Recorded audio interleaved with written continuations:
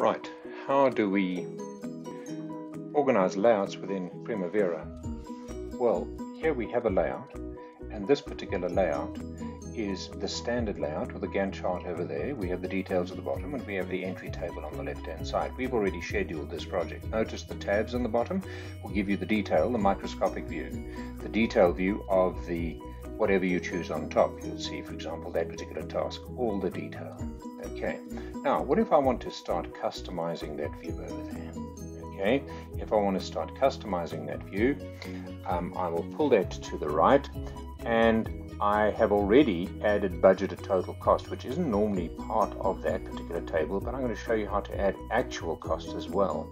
So here we go. I'm reducing the size of the columns, right clicking there, going down to columns, and there we have a whole lot of things we can add. We would expand costs, and I'm going to go to actual total cost, and I'm going to throw it across into this view. There we go, it's thrown across, and then I'm going to move it down. So I'm moving it down now, there we go, and I'm going to click OK. Notice it actually appears. There are no actual costs, but it does appear, albeit 000, but it does appear on the right hand side there. So I've customized that view. All right, these are particular layouts that I'm organizing for my Primavera work.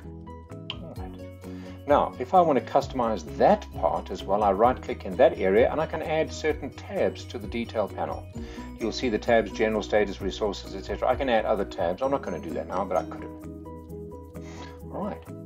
Look at the tabs ac across the top there, but that's because I'm that far with the project. I've got resources and resource assignments and so forth. So how do we view our layouts? There's our layout. I'm going to show on the bottom a different view and that's going to be the resource usage view with a resource graph. And the resource graph is showing me how much work the artisan is doing on those two days Monday and Tuesday all right?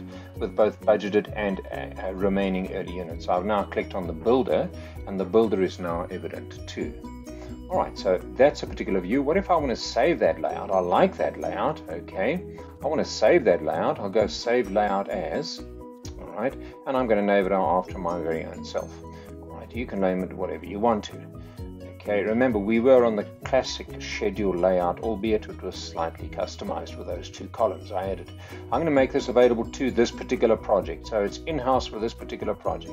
Okay, and save it. There we go. Now, what do I do if I want to um, see the different layouts? There we go. I'm looking at different layouts and open layout. There I am down below this project, this particular view. That's incredible. I've saved this particular view, which is pretty cool.